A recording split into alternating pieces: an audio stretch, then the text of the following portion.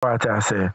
I would expect that at this point in time, government or share civil societies specifically on see something, see something.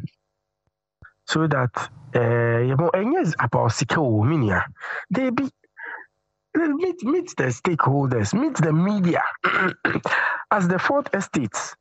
Uh, uh, the console, the console you are seated behind, you know, studio no a very, very powerful. Malcolm X, the media is the most powerful tool.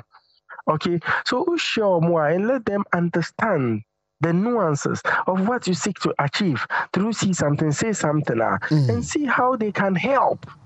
And But if you think you can do it alone, uh, to be honest with you, ever fall flat.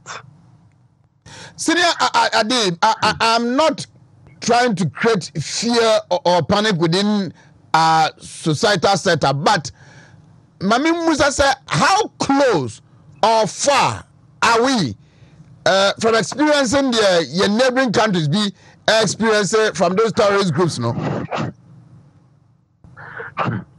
I I think to me.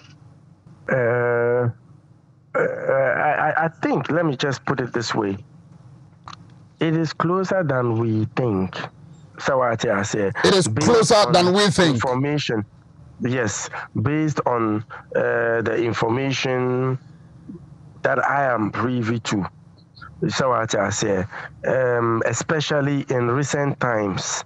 Uh, the the movement of refugees into the country. Mm-hmm. Uh, mini DWTV yeah, yeah, report be and um, uh, uh, recently who said France 24 ɔmo yɛ the same very similar report ɛwɔ hɔnom saa influx no mm-hmm.